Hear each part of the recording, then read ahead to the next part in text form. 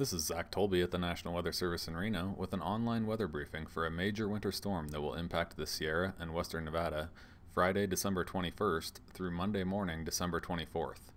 This storm will create considerable difficulties for anyone planning holiday travel over Sierra Passes Friday through Monday morning. A strong low pressure will approach the Pacific Northwest and remain nearly stationary through the weekend. A strong jet moving around the base of the low will pick up deep Pacific moisture, which will bring a prolonged period of snowfall to the Sierra Friday morning through Monday morning. Unlike the strong storm the first weekend in December, the snow levels with this system will remain well below the level of Lake Tahoe Basin. Snowfall will be enhanced by three waves of heavier precipitation. The first round of snow will begin to impact the Sierra on Friday morning. The second wave of heavy precipitation will arrive during the day on Saturday and last through Saturday evening. This wave has the potential to push snow into western Nevada. The third wave of precipitation will arrive during the day on Sunday and last through Sunday evening. This wave also has the potential to push snow into western Nevada. This storm will impact the Sierra Nevada from Friday morning until Monday morning with periods of moderate to heavy snow. Gusty winds and heavy snowfall will create whiteout conditions at times. Lengthy travel delays with chain controls is likely, and road closures are possible. Travelers going over Sierra Mountain passes should carefully consider their travel plans and consider secondary routes if possible.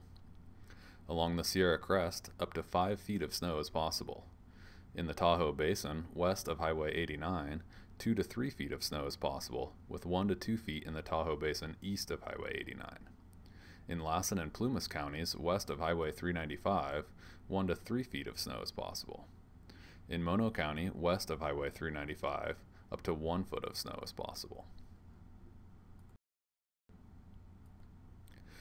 In western Nevada valleys, there are two periods of snow possible. The first will be Saturday afternoon into Saturday evening, and the second, Sunday afternoon into Sunday evening.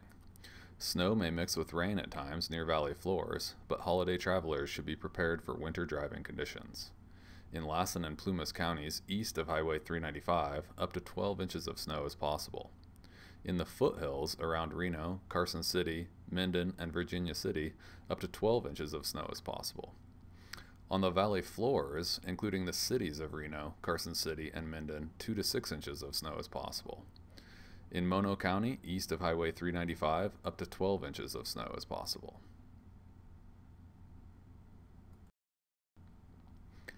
Forecast confidence in multiple waves of heavy snowfall impacting holiday travel over the Sierra Nevada mountain passes is very high.